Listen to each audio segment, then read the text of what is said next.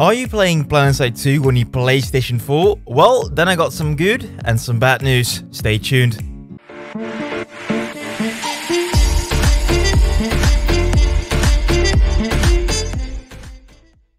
Ladies and gentlemen, welcome back to the channel. I'm your host Fabian as usual, and today we are talking about the PlayStation 4 version of PlanetSide 2. As you might know, a huge update is hitting the game soon called Escalation, and more about this update you can find in the top right corner. But okay, PC is getting this update right now in probably a few days, but PlayStation 4 is still waiting for more information. To start with the bad news, ladies and gentlemen, there won't be an update simultaneously with the PC platform. So if you're really hoping for some more new content on the PS4, well guys, tough luck. There is some good news though. The dev team is looking into getting this update to PS4, but not in the coming days, weeks, or maybe even months. While there will be quite some delay probably between the PS4 update and the PC update, the PS4 update is sounding pretty promising. As you might know, the PC platform has had construction for quite a while now, and with the construction update, things like the Ant came, base building, orbital strikes, quite some cool stuff. And I know not everyone is happy about it, but the PS4 had nothing. In the DirectX 11 update or the new Soldier update, what they did bring over was the Ant, the vehicle being used, but there was still no construction. So, in the next update for the PS4, you will not only get the escalation stuff, so the Bastion Fleet Carrier, the Outfit Wars, Desolation, but also probably some old stuff from the PC. You will get the construction, you will get orbital strikes. So the new update for PS4 will be quite a big one, and again, they do expect there to be quite a heavy delay between the two updates. And to give you some reference how long will it take for them to actually make this new update, we can take a look at the last update for PS4. So we had the DirectX 11 update in April 2019 for the PC, and the performance update for the PS4 was only there in August. So right now we'll get the update in March, in March for 2020 for the escalation update. So again, do expect something like July 2020 for the update to hit on the PS4. That will fit nicely together with the summer events, so do expect something like the water pistols, the water balloons, and also escalation in the summer. But okay, the main takeaway from this little story right now is, if you play in the PS4, don't expect any updates soon, but yes, do expect something later this year. I do want to add a little bit to this story though, and that is related to both PS4 and PC, and that is the overall communication from RPG. Since the reveal of Escalation, the whole PlanetSide team feels more communicative, more open. Justin, the community manager, shares a lot more stories, is open for a lot more community input, and I think those things are so important for a game to survive, especially for the years to come.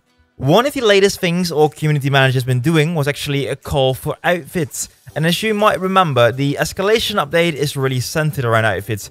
Only if you are playing an outfit, you can actually call in a Bastion Fleet Carrier. Only as an outfit, you can compete during the outfit wars. So again, outfits will be a focal point. And what they want to do with the call for outfits is actually showcase outfits. Make them visible on the official Twitter from PlanetSide, official Facebook, official Instagram, the PlanetSide team wants to make sure those different outfits are being spotlighted. And of course, as you might know, in the past I've been doing quite some different outfit spotlights. But right now, where I left off, ArsheeTv picked up. So if you want to see more outfit spotlights, of course, you can check out my channel, but also more recent ones by ArsheeTv back over on Twitch. Link in the description below, of course. Anyway, more recognition for the different outfits is probably a good thing overall for the game. It doesn't matter if you're playing on PC or PS4. So guys, if you are running a PS4 outfit, let me know in the comments down below. But also post over there on the Reddit thread and I'll again post a link in the description below. Then one more thing. As you might know, I do not own a PlayStation 4. I have never ever ever played PlanetSide 2 on the PS4. So some of you might be asking, Faber, why are you sharing this with us? To be honest, I am and I will always be a PC Master Race person. I just love the PC because of modularity, there is no subscription needed to play online, games are often cheaper, and uh, most important to me, you can just play with mouse and keyboard without any adapters, without any struggles, or without any auto aim or whatsoever. If you ask me on which platform should I play, I would always say no matter the game, PC. What you're seeing right now in the background is all taken on the PC. And actually, I do like the UI a bit better from the PlayStation 4.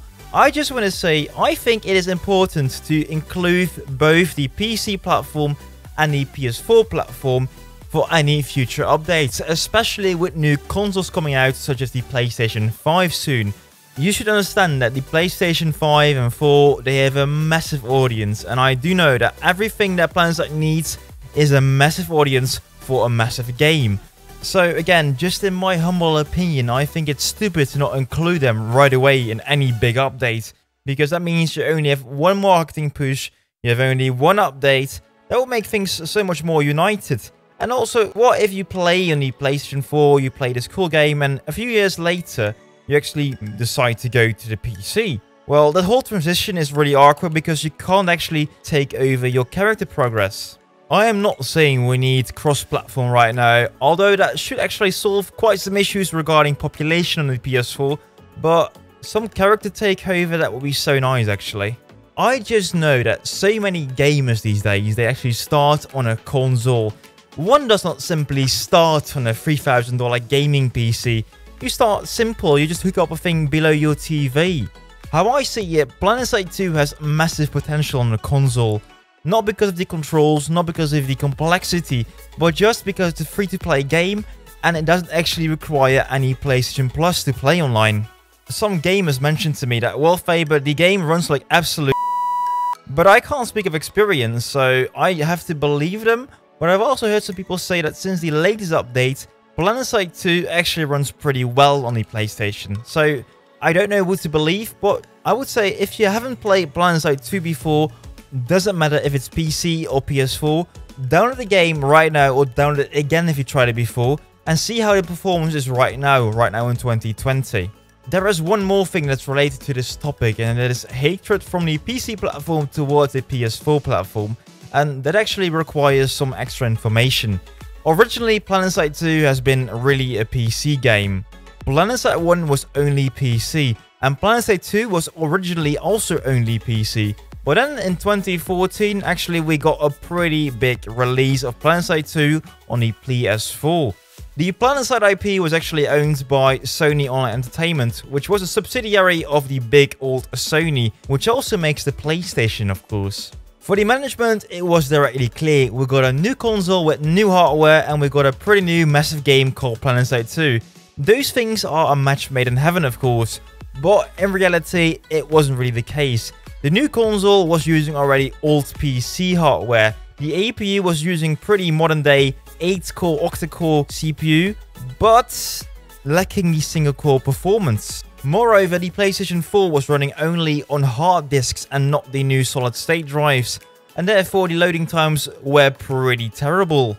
It required quite some effort actually from the PlanetSide developers to actually make the game more playable, and from the PC perspective it was like, hey guys, we never asked for you to make a PlayStation 4 version, and right now, all that attention that is going towards the PS4 version could also have been going into more content for the PC. What about that? So the hatred towards the PS4 platform comes with a sort of reason. And well, you can't really blame them because years after years, it felt like the performance of the PC version got worse and worse. But okay, I also think it's more general because more often, like I mentioned before, the PC master race looks down upon the console plaps to say. Right now it is 2020 and the next gen consoles will just get PC hardware slightly modified to fit inside the box of an Xbox or the PS5. Mouse and keyboard support is getting more normal and also so is crossplay. So in my humble opinion, and again just my humble opinion, it is time to move over this little issue we had in the past and look towards a bigger future together. Because I do think that PlanetSide 2 will be also backwards compatible with the PlayStation 5, but to be honest guys, nothing like that is confirmed. However, though, I want to say this is a final quote from me. If you want to see a bright future for PlanetSide with maybe even a new game in this series, do accept the fact that we do have a console version and make it as good as it can possibly be for a console. But okay, that is my stance towards the console version of PlanetSide 2. Let me know what you think about consoles. Let me know if you play in a console. Let me know what you think about all of this. And then guys, I will see you soon with some more content.